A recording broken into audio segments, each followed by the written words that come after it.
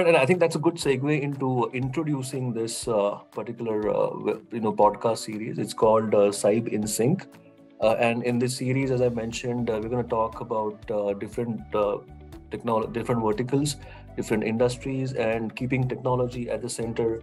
Um, kind of discuss about how technology has helped these industries over the years to reshape themselves uh, to solve different problems of uh, different stakeholders within the uh, you know consumer and the you know supplier ecosystem. Um, this particular one, this, the, the, segment that we're going to do today is going to talk about how attention economy is in, in, in the works.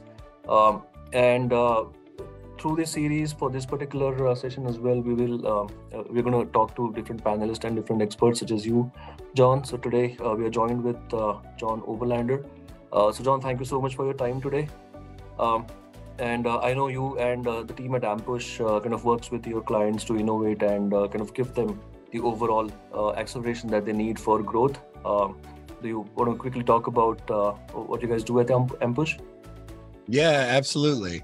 Um, we we partner with high growth businesses looking to grow both quickly and profitably, and our scope of work includes um, all all the levers you'd want to pull to have an effective direct marketing channel with consumers. So that includes uh, media buying, creative services, both in terms of ad creative and landing pages and conversion optimization, um, as well as all the associated analytics and testing and experimentation that allows you to acquire customers uh, as efficiently as as possible and to scale that up awesome. And i think this is the most relevant discussion uh, for you as well right? Because as you know uh, over the period of time the attention span of users have reduced quite a lot.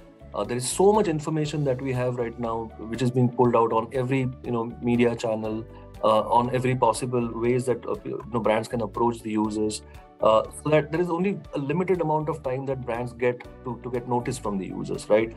And that is what we call as attention economics. In the sense how do you grab the attention of the users? How do you ensure that whatever the message that you're putting out is actually you know very much relevant to the user and this, something that people will feel that they should interact with that particular uh, advertisement that you pull out right? So uh, in all of this uh, you know reduction of the attention span the kind of limitation of uh, the approaches that we can take uh, to uh, you know to, to, to, take the brand to the users do you think artificial intelligence is going to play some role in it as opposed to like you know industry experts who are um, kind of knowing the demographics and who are advising the brands as to what demographics to target and all of that?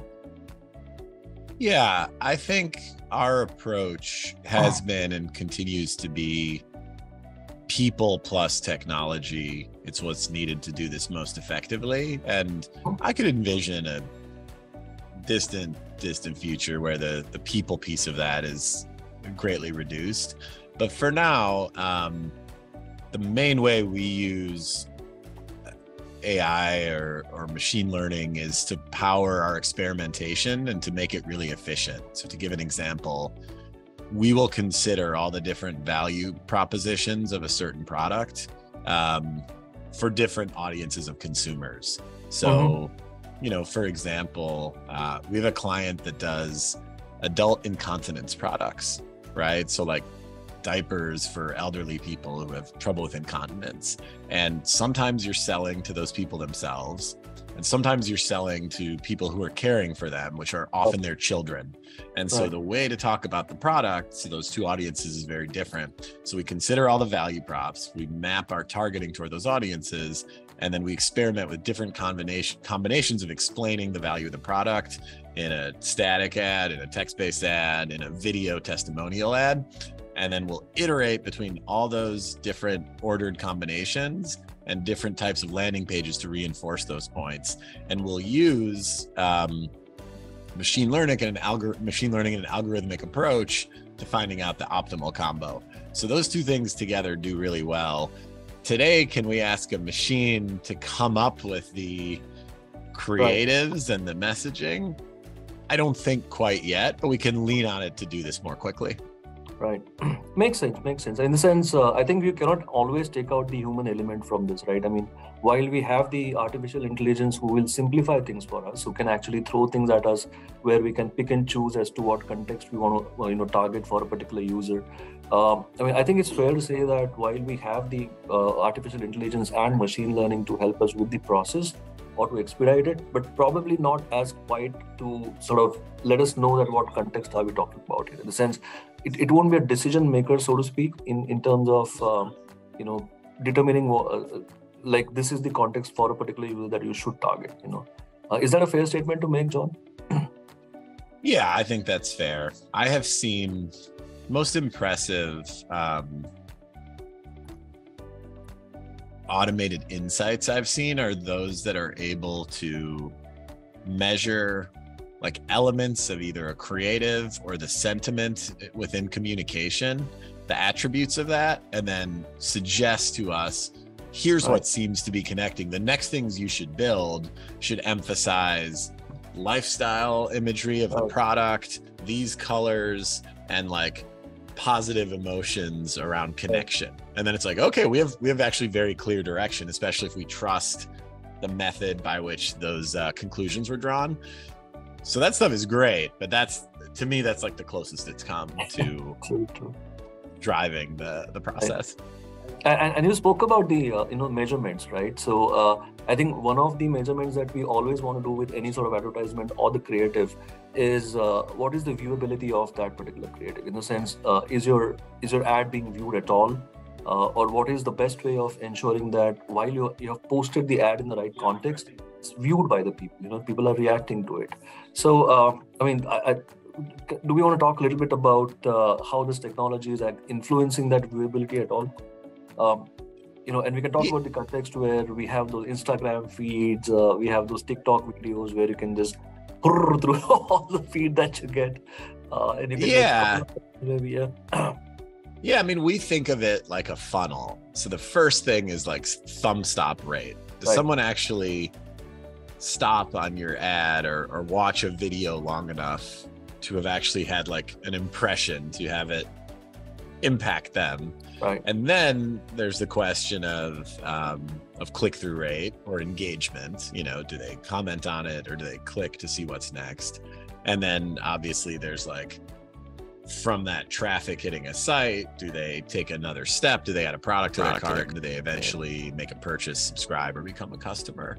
Um, but yeah, on on that first point, um, around measurement, yeah, typically we we see early proxies for engagement there, and um, the metric most talked about at Ampush, we call it APM. It's acquisitions mm-hmm. per impression. So it's mm-hmm. basically combining click through rate and conversion rate and saying how much yield do we get out of this impression. Um, and it, and it ignores the cost factor CPMs. So right. how much it costs to place your ad here, that'll fluctuate based on variables we typically don't control. But how well we take that impression and make it into a new customer, like that's our job. Oh, okay. And uh, do you also kind of uh, you know look at what the emotional message that the advertisement is giving out? Because I think you know uh, sentiments is one big area which we can target uh, for the users, right? In, in the sense, if you're if you're creative or if your advertisement is able to hit that emotional chord uh, in the user's mind, then there are better chances to kind of get uh, to the brand or at least have the brand noticed that way or maybe remembered. Uh, do, you, do you think that's something which uh, the, uh, the technology can also help in? Yeah. I, again, I think it's much more in understanding what is connecting and drawing conclusions about it than than generating the emotional message up front. So like another good example um, we use that APM metric of yield and we looked across our whole portfolio of clients and we're able to rank, we're able to normalize for the fact that it's easier to sell, you know, like Blenders eyewear sunglasses that are right. relatively affordable and cool than to sell adult diapers to a caretaker, right? Those are vastly different products, but um, we're able to compare how effective creatives are between the two by normalizing for the account average. And the best creative in the whole in the in the whole Ampush portfolio recently um, was for um, was for that adult incontinence product and it was Mhm. almost like an infomercial style pouring liquid onto ours versus the generic one and showing the absorbency that means people are never going to be embarrassed. Right. right? And that is like an emotional message. It's like oh Right. you have this challenging condition. You want your dignity your privacy and this thing supports that. And so um, we were able to draw that conclusion because once we saw what stacked up yeah we did use some form of like sentiment analysis to detect what was coming through there. And um, yeah i think that's i think that's really powerful because you you're you're asking someone to make a, a purchase choice. And the question isn't really why to do that it's why to do that now. Like why should i act? And so you need something that connects and and like generates that initiative Yeah, and I think that's a very uh, helpful insight, Jon. I mean, you talked about now. Uh, I, I think we have multiple products or multiple uh, ways in which uh, users' needs can be fulfilled. Uh, I think what matters now is something that uh, you know the brands are actually kind of you know racing against each other to get at. You know, I think that's yeah. So that that's pretty helpful in terms of leveraging the technology in order to figure out what is the right message we are passing when should we pass it on and what is the actual you know uh, sentimental chord that we want to hit out. And but one of the uh, questions that i always had was uh, we always speak about uh, you know uh, radio as a medium or we always speak about the audio or somebody talking to the users in terms of you know the narratives in terms of all the background uh, you know for, for an advertisement. Uh, how do we actually measure what's the right metric for the radio in the sense what how do we define what is right uh, which audio or which uh, you know radio ad is more effective? Is, is there a way to do that at all? Or is it just that we talk about you know reach out have that you know law of percentages where we reach out to so so many million users and then hope that you know 0.01% of it might convert or whatever so Yeah. I mean, I think I think reach is a somewhat useful metric. Um, I think now what many brands are trying to do is even if something is like an upper funnel uh, awareness generating medium like radio or television, they want stronger measurement because they've seen how tight a measurement they can get on digital channels.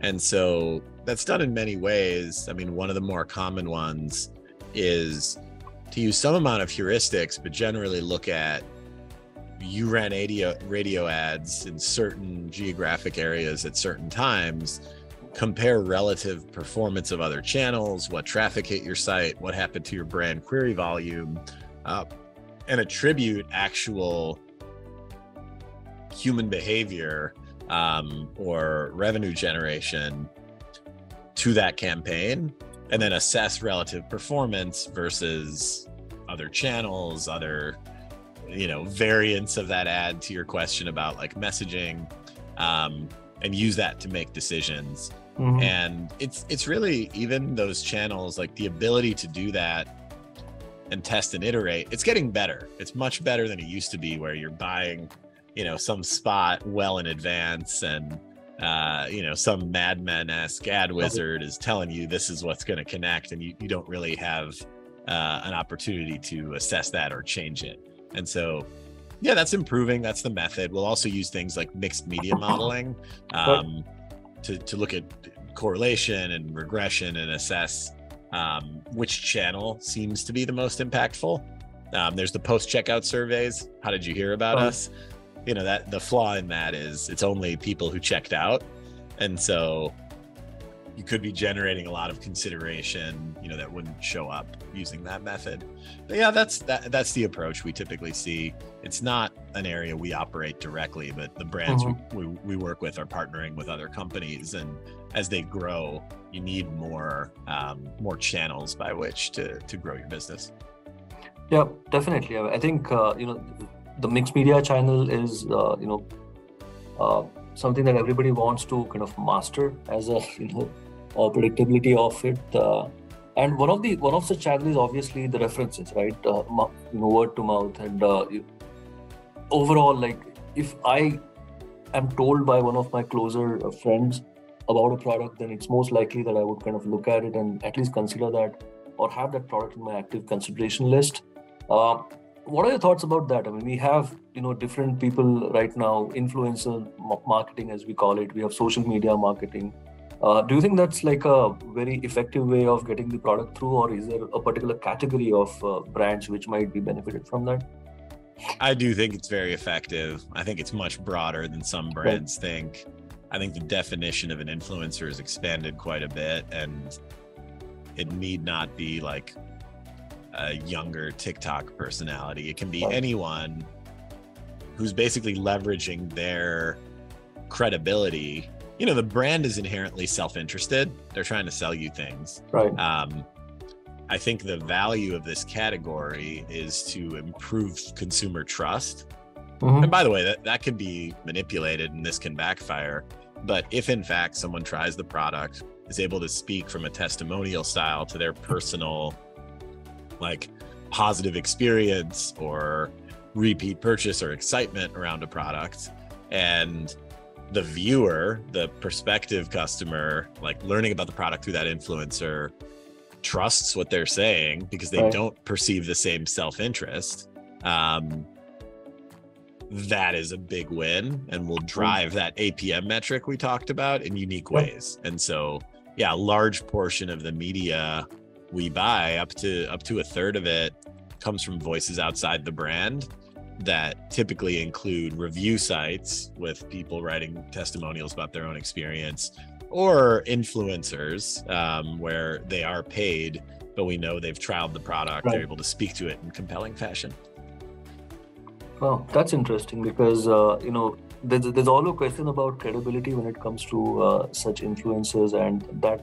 the channel of uh, the influencer marketing. Uh, but I think you, you make a very valid point. I mean, if somebody uh, is actually able to, you know, talk about a product without being self-interested or having some vested interest in it, uh, I think that might become a good way of uh, for, for brands to actually connect with it. And uh, you're right. I mean, it is a lot lot bigger in, in terms of its reach and in terms of the kind of wins that can, it can give to the brands.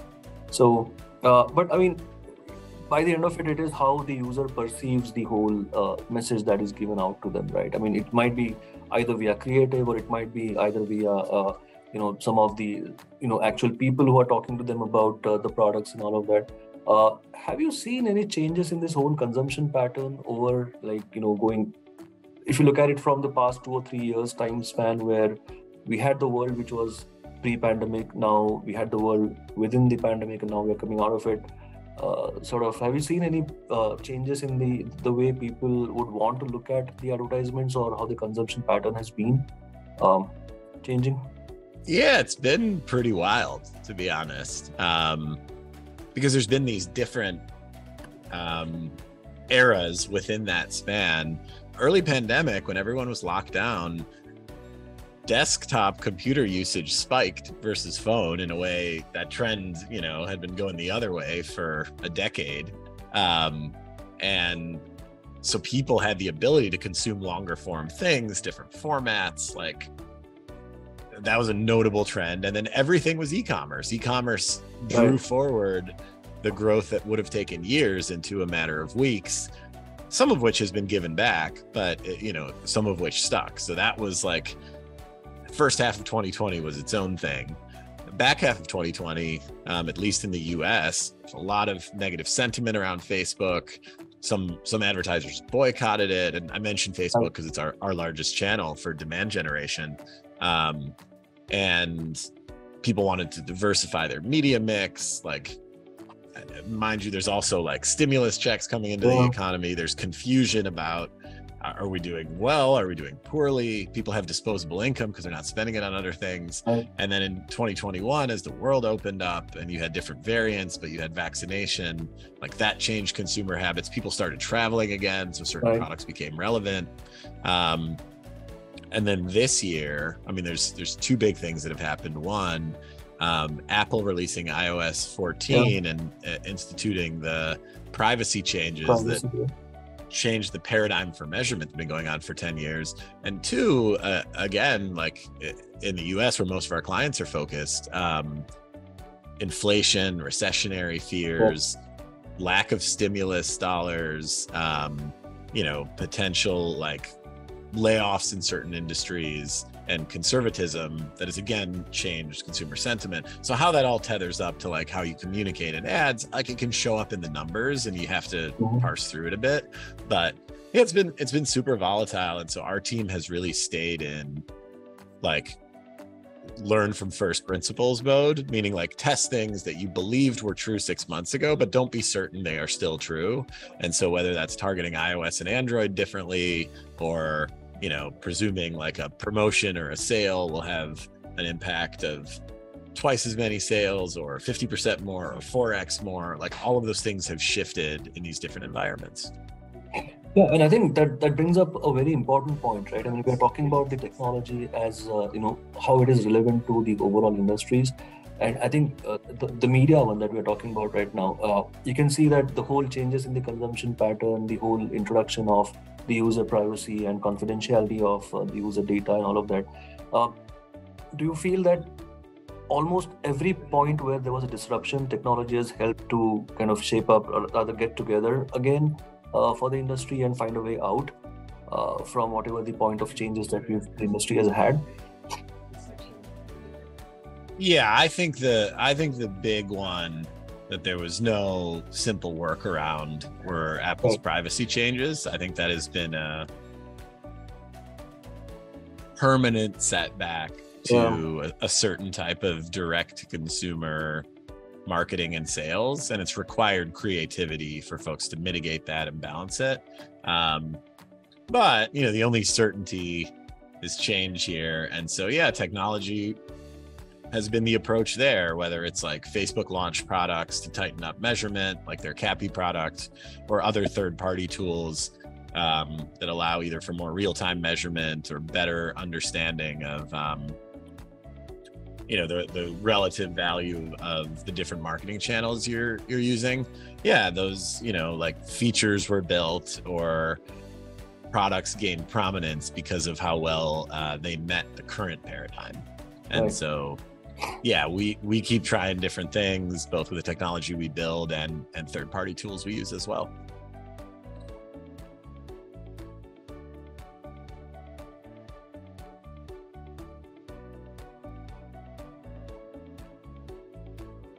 problem and the change is a constant thing uh, and that's going to be relevant for uh, this industry as well i guess you know uh, while we have the uh, technology uh, to help us out uh, things are going to change. I mean, the people are going to change. Uh, the way the user maturity uh, kind of comes forth um, for different brands, that is going to change. Uh, the, the, overall messaging pattern, the, what people listen to, that is going to change. How people react uh, to a particular message, that is going to change over the period of time. Um, so, I mean, this is what we kind of had initially spoke about. You know, the changes, how what was relevant now, uh, what was relevant like 10 years ago is not relevant now. Uh, how what is relevant now is not going to be relevant probably even you know less than 10 years from now. Uh, so uh, thank you so much, Jon. I mean, I think this was a great discussion. Uh, which, you know, through uh, to talk about how technology is helping you know the media industry and particularly in getting the attention of the users where you know there are challenges which were like you know far more than ever before uh, Uh, in order to get users' attention for particular brands, and uh, you know how uh, we are using innovative ways uh, to, to get ahead of the curve there. So thank you so much for uh, your insights. I'm sure uh, this was uh, as enjoyable conversation uh, for our listeners as it was for me. Um, and once again, for you know, thank you for all the insights that you've provided today, and thank you for your time to yeah. join us. Um, and, yeah, of course. really appreciate it. And I know Cybage and Ampush has got a very long-standing relationship, um, and we will kind of uh, carve our ways through uh, the different changes that come uh, come our way uh, in the future as well. Um, I look forward to it. absolutely. Uh, so thank you, everyone. This is Girish Deshpande signing off for the first session of uh, the Attention Economy. in the series of the Cybage InCync, which is a podcast series for talking about technology and uh, how it has helped uh, different industries to adapt to different changes. Right. Thanks so much.